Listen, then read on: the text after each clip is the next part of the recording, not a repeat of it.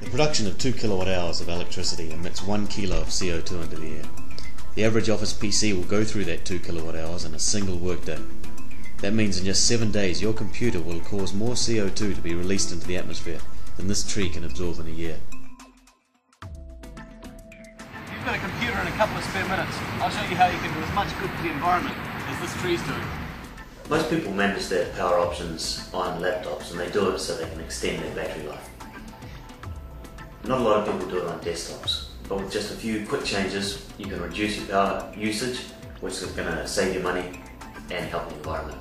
And I'm going to show you how to do it on Windows XP, which has a number of options for managing your power settings.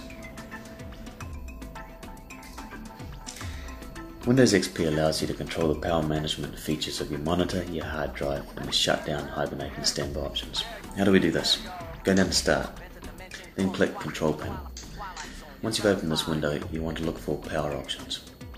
Now it may be that the window you're looking at isn't the same as this. Maybe you're looking at something like this. If so, then go to Performance and Maintenance, click there, and then click Power Options. And these are the default settings for Windows XP. One of the biggest users of power in your computer is the monitor. The default for Windows is set for 20 minutes, but it's not often you're using the computer without some sort of input so you can get away with setting this to 5 minutes. The hard drive is also a big user of power. Now, by default it's set to never spin down, but you can save a lot of energy by setting this to 15 minutes. The bottom section here lets you control the options for standby and hibernate. Now if there's not a hibernate option here, you might have to enable it. Go up to hibernate, and then down to enable hibernation. Make sure there's enough free disk space. If there is, click enable hibernation, then down to apply. Now go back to power schemes. Down the bottom you should see an option for Hibernate. System standby is energy conserving because your entire computer switches to a low power state and devices such as the monitor and hard disk turn off and your computer uses less power. However, while everything's in memory, everything's not yet saved to the hard drive. Set this to 20 minutes. Now Hibernate's a little bit different because it writes an image of what you're currently working on onto a special file it's perfect for shutting down the computer for the night or even the weekend, and when you start it back up, you'll see everything exactly as you left it.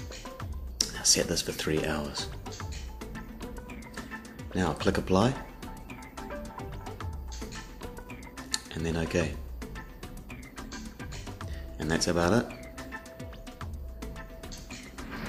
So with those few simple changes in just a couple of minutes of your time, in a few weeks, can reduce your computer's CO2 production by as much as this tree can absorb in a year.